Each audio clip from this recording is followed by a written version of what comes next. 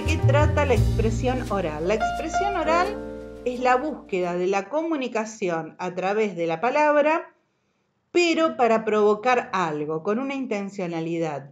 Por lo tanto, eh, la expresión oral es la dimensión de nuestra eh, fisiología que nos permite que provocar una comunicación con sentido, es decir, que haya un otro que interprete lo que le estoy diciendo y provoque una interacción conmigo.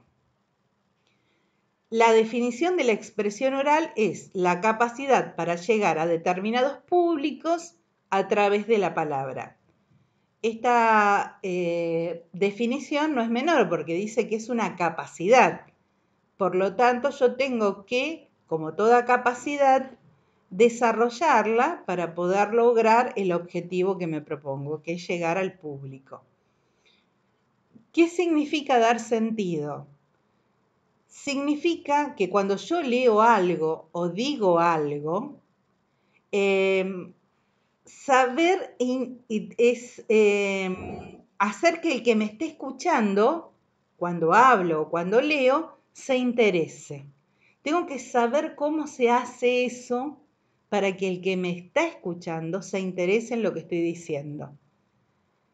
Eh, para dar sentido, yo tengo que entender lo que quiero hacer, tengo que tener un objetivo y tengo que, por sobre todas las cosas, tener certeza de lo que estoy diciendo. Tengo que saber qué estoy diciendo. Y cuando lo estoy diciendo, como sé cuál es mi objetivo y como sé qué es lo que quiero compartir, voy a realizar estrategias como subrayados, connotación, es decir, le voy a dar otra frescura a la palabra, que a veces puede ser muy leve, muy elegante, o a veces puede ser, este, eh, no sé, más pasional, dependerá lo que quiero comunicar. Por eso yo voy a tener que apropiarme de recursos de la oralidad, como por ejemplo las pausas, la intensidad, es decir, bajar, subir volumen de acuerdo a la atención que quiero provocar. Para poder dar sentido con mi discurso oral, yo me tengo que interesar en la gente. Si a mí no me interesa que el otro me entienda, no me voy a preocupar en la manera en que voy a construir mi expresión oral. Por eso es fundamental para una buena expresión oral interesarme primero en el público. No, yo siempre digo, lo digo en radio, cuando ustedes me tengan como docente de radio, se los voy a repetir muchas veces, trabajar en un medio de comunicación y especialmente en un medio sonoro como es la radio, no es ir a terapia y hacer, catarsis. Es decir, se abre el micrófono y empiezo a hablar porque puedo. No, Hacer radio significa que hay un otro del otro lado al que quiero llegar, al que le quiero contar algo, al que tengo algo para comunicarle y me interesa por sobremanera que me entienda. Entonces me voy a preocupar desde cómo entono, qué palabra uso, qué pausas realizo, qué volúmenes son los más apropiados, etcétera, etcétera, etcétera. La palabra es la clave para poder comunicar con sentido. Es el elemento esencial. Yo en la oralidad me apropio de la palabra. La palabra no solo en su carácter denotativo, es decir, aquello de lo que habla la palabra, sino en su carácter connotativo.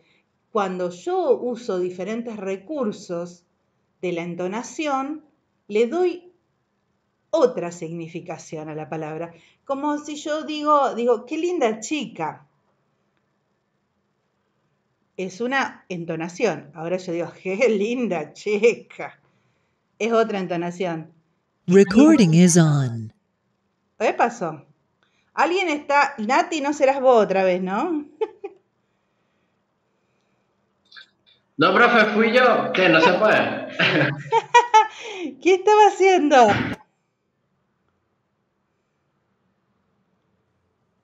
Yo tengo cerrado el micrófono. Ah, bueno, bueno, no hay problema. Estaba leyendo que algunos estaban diciendo que ingresaron recién. Bueno, Luciano, ¿cómo va? Buenas, buenas tardes. Hola, profe, disculpe la demora, ¿cómo le va? Yo también entré más tarde, varios entramos tarde, no se haga problema. Bueno, sigo compartiendo el PowerPoint.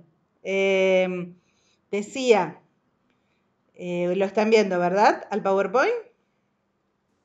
Sí, sí, se ve bien. Bueno, perfecto.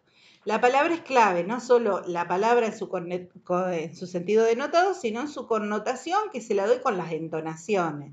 Yo puedo este, entonar, decir, es una chica buena, que es un tipo de entonación, y otra como decir, es una chica buena, que puede connotar otra cosa esa expresión. O la puedo hacer entre signo de interrogación. ¿Es una chica buena? Que también es otra cosa diferente a no usar en la interrogación. ¿Cómo hacer para que mi habla se cargue de esos valores que hacen que la palabra sea más que lo denotado, sino que traduzca ciertas sensaciones, ciertas emociones, ciertas ideas? Bueno, algunas cosas ya las hemos visto, las tenemos que recuperar para ponerla en práctica en nuestra expresión oral. Por ejemplo, la primera de todas, la dicción. La dicción es clave. Si yo no pronuncio bien las palabras, si no uso bien el idioma, es muy probable que la gente se detenga más en escuchar cómo lo estoy diciendo que lo que estoy diciendo. Entonces, lo primero que tengo que asegurarme es tener una buena dicción.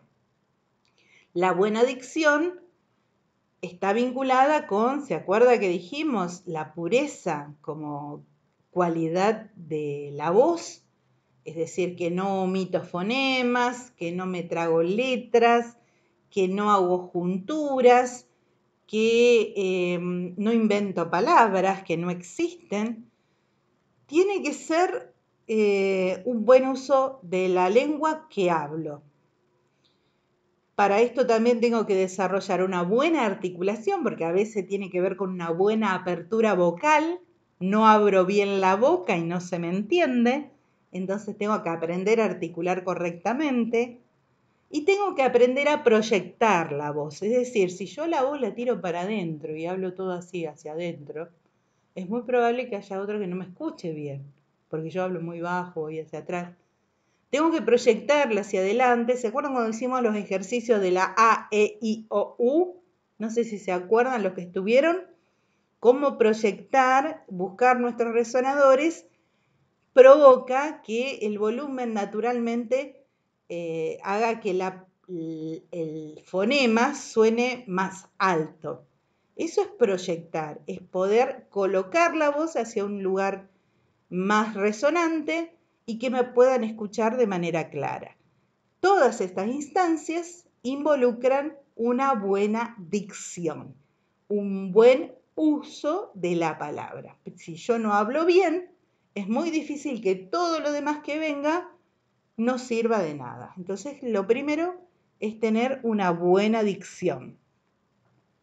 Lo segundo es la intensidad la intensidad tiene que ver con el volumen. El volumen sirve para que los demás nos escuchen. Nosotros no hablamos con el mismo volumen cuando tenemos una persona al lado nuestro, a pocos centímetros, que cuando tenemos a una persona que está lejos de la, en la habitación o en otra habitación a la que le tenemos que decir algo. Esa diferencia que hacemos de volumen se llama intensidad. Porque, ¿Por qué hacemos esos cambios? Porque queremos llamar la atención del otro, queremos que nos escuche. En la lectura, por ejemplo, o en el habla común, usamos la intensidad para remarcar ciertas cuestiones. En general, se inicia con mucha intensidad y se cierra un discurso con gran intensidad, como para notar, este es mi remate, acá, acá llegué. Entonces, poder entender que la intensidad es un recurso de la expresión oral que me permite connotar la palabra, cargarla, vestirla de otra manera para que logre un efecto en, el que me escucha, es una buena manera de entrenarse en, eh, en el uso de la voz. Otra de las características es el ritmo. El ritmo, que lo podemos vincular con otra cualidad de la voz que es la melodía. Fíjense que ritmo y melodía a ustedes les suena música, ¿no? Porque en realidad tiene que ver eso. A veces nosotros podemos cargar de música nuestras palabras. Los publicistas lo saben muy bien, ellos saben que, o los músicos mismos, ¿no es cierto? Cuando escogen ciertas palabras con las que construyen un, eh, digamos, una canción, saben que hay, hay palabras que son mucho más melodiosas, que son más atractivas a la escucha, que suenan mejor, que son agradables, que invitan a ser escuchadas. El publicista también lo sabe. Sabe que conjugar ciertas vocales, ciertas palabras, ciertas consonantes provoca una determinada atención y captación de la escucha. Entonces yo tengo que darle a mi voz ritmo. ¿Cómo lo hago? Con la utilización de las pausas.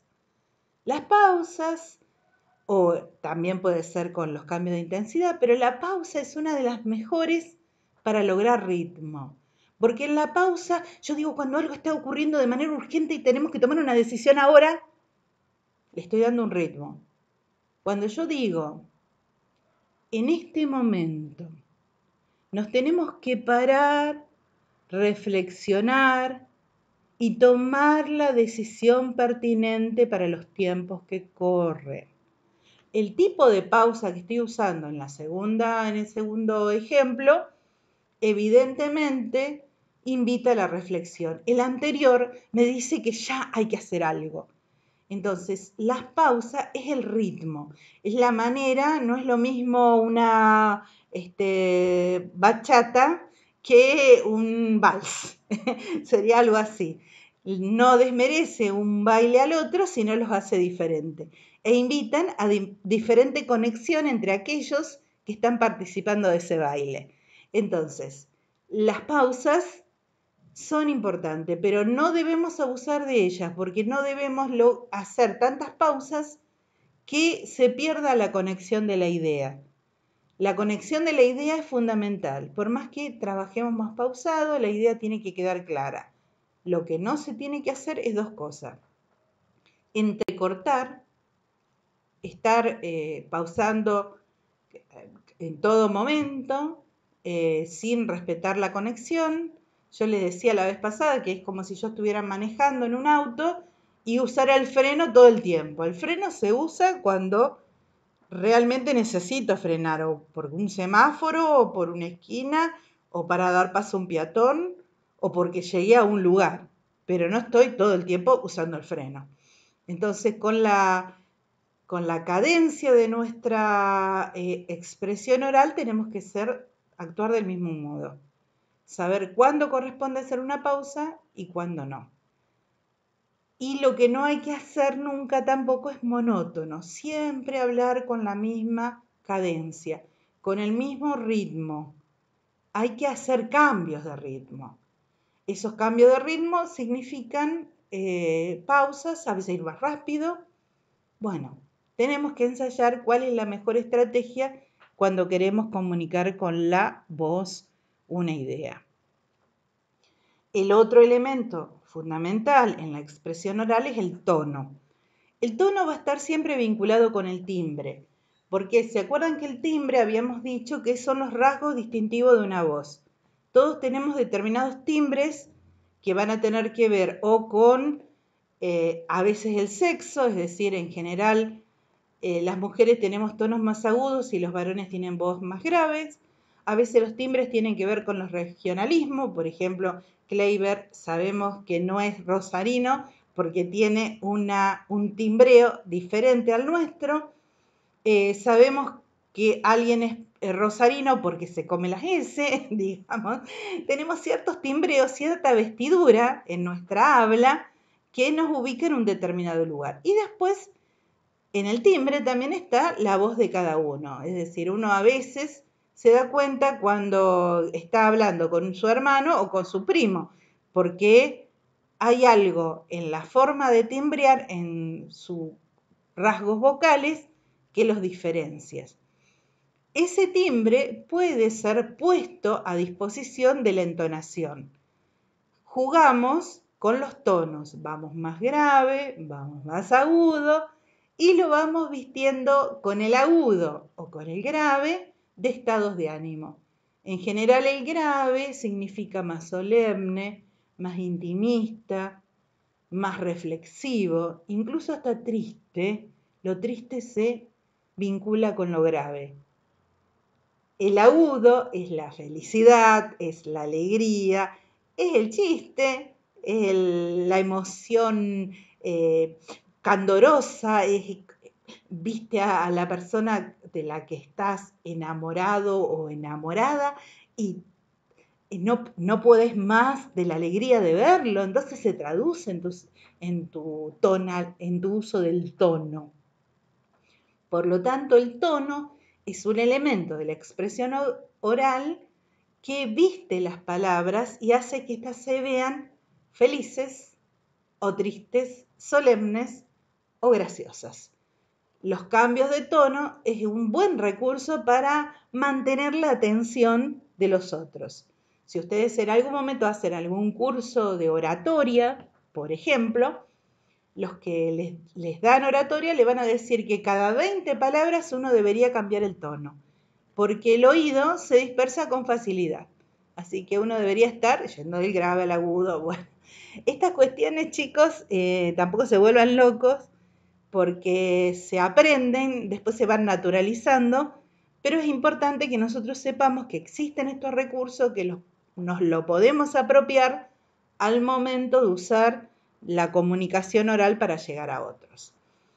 Toda esta información está sacada de estos tres apuntes que son extensos, son mucho más complejos de lo que yo le acabo de exponer y que si alguna vez cuando volvamos a la presencialidad pueden acceder a este material, eh, está impreso en fotocopiadora, eh, estaría bueno que lo lean.